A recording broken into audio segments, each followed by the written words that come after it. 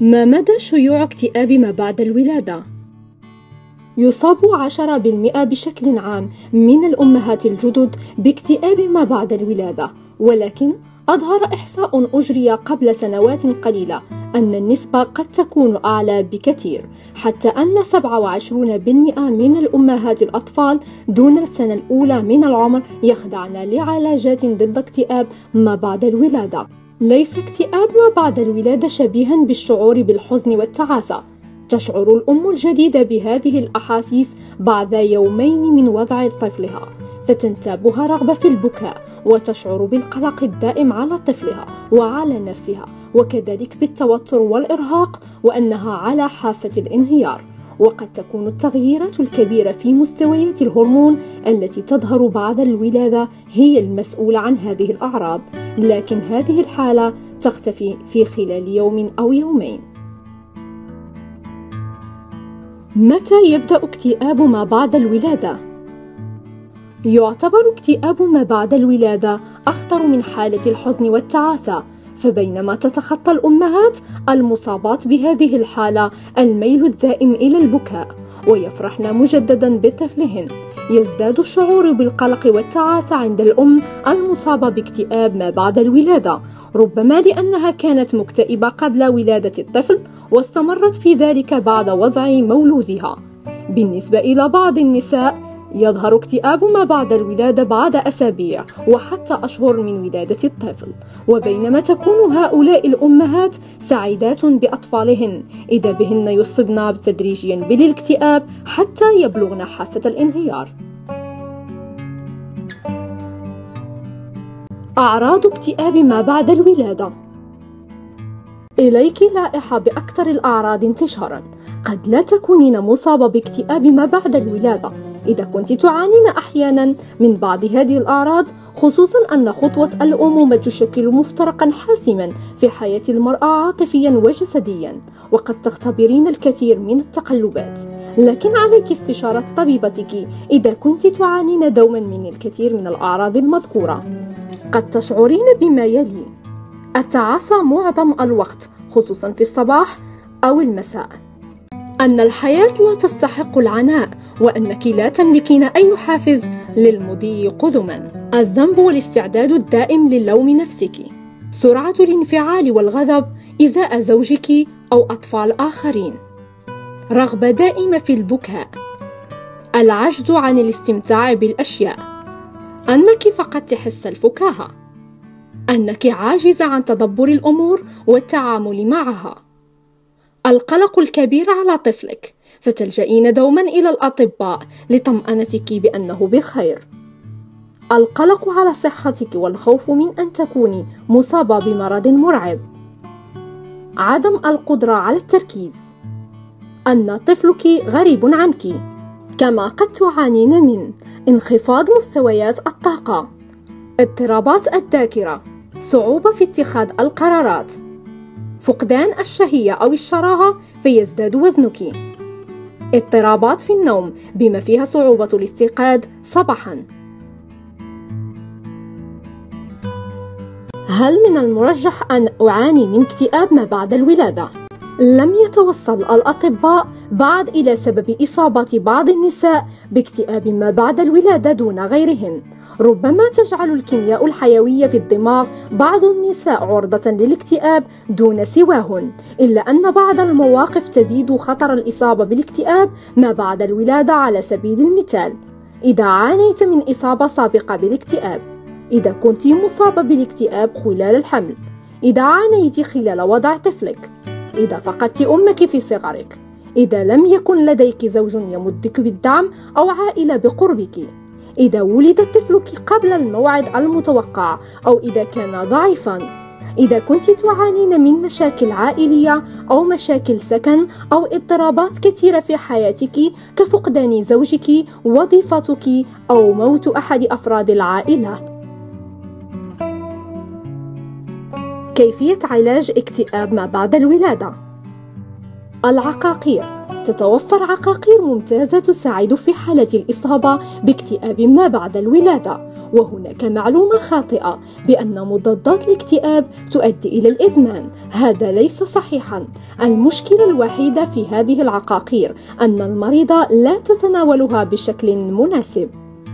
عليك تناول دواؤك في الموعد المشار إليها. ولن تشعري بالتحسن إلا بعد مرور أسبوعين على الأقل. لا تستسلمي وترمي الدواء لأنك تعتقدين بأنه لا ينفع. فهو يحتاج وقتا ليظهر مفعوله في جسمك وعليك أن تتناولينه لمدة ستة أشهر. إذا توقفت قبل ذلك ستصابين على الأرجح بالاكتئاب مجددا. العلاج عن طريق التحدث عن المشكلة. سترتاحين ما أن تتكلمي عن مشاعرك مع شخص يتفهم ما تمرين به من شعور الاكتئاب كما يمكنك اللجوء إلى زوجك أو صديقتك الحميمة لكن لا تنزعجي إذا لم يتفهما جيدا معاناتك ما الذي يمكن للصديقات والعائلة فعله؟ إذا عانت ابنتك أو أختك أو صديقتك من اكتئاب ما بعد الولادة ستتفاجئين كثيرا بالتغير الذي يصيبهن وقد يدفعك هذا إلى الشعور بالاكتئاب مثلهن تماما. من الأفضل أن تستشيري الطبيبة التي عالجتهن كي تشرح لك حيثيات هذا المرض وتنصحك حول نوع الدعم الذي يمكنك أن تمنحيه لأي منهن. حين تفهمين أن المشكلة حقيقية وأنه يمكنك المساعدة في هذا الإطار ستتحسن حالتك كثيرا ويمكنك أن تشرحي للصديقات والأقرباء أيضا عن هذا الموضوع وما يمكن فعله للمساعدة. تذكري دوما أنها سوف تتحسن مع الوقت. إذا كانت ابنتك أو أختك أو صديقتك تعاني من اكتئاب ما بعد الولادة إليك ما يمكنك فعله.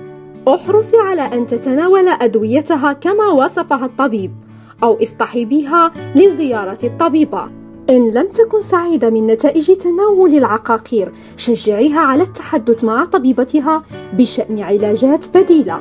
رافقيها إلى الطبيبة إذا كانت مترددة في الذهاب واحدة أو ترفض من الأساس. لا تضغطي عليها كي تخرج من محنتها لأنها كانت ستفعل لو أمكنها ذلك. ساعديها في الأعمال المنزلية وفي العناية بطفلها لكن لا تأخذ الطفل كاملا على عاتقك. ابقي معها إذا كانت تخاف البقاء وحيدة ذكريها دوما بالجانب الإيجابي وأن نتائج العلاج ستؤدي ثمارها. كيف أساعد نفسي؟ حاول اتباع نظام غذائي صحي.